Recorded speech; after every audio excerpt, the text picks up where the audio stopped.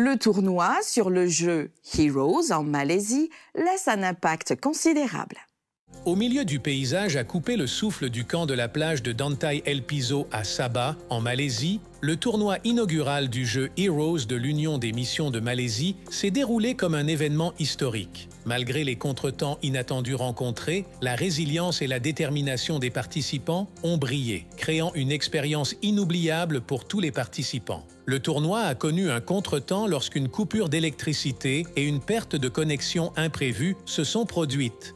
Les organisateurs ont été contraints de le reprogrammer pour coïncider avec la cérémonie de clôture du Camporé qui devait avoir lieu dans deux jours. Malgré cela, l'enthousiasme et le bon état d'esprit des participants n'ont pas vacillé. Le tournoi de Heroes, point culminant du Camporé, visait à promouvoir le jeu de questions bibliques et à encourager l'étude de la Bible chez les jeunes. Bien qu'il se soit déroulé après la fin du Camporé, les jeunes participants ont choisi de prolonger leur séjour pour participer activement à la compétition. Selon le pasteur J. Edison Lawrence, l'hôte de l'événement, le tournoi a eu un succès retentissant. L'atmosphère était remplie d'excitation et d'énergie alors que les joueurs s'encourageaient mutuellement. Après une compétition intense et des magnifiques performances, 20 gagnants ont été récompensés. À la conclusion du tout premier tournoi de Heroes de la région, les adventistes de la région estiment qu'il a laissé une empreinte indélébile sur tous ceux qui ont participé à cette expérience inoubliable servant d'inspiration pour les églises et les jeunes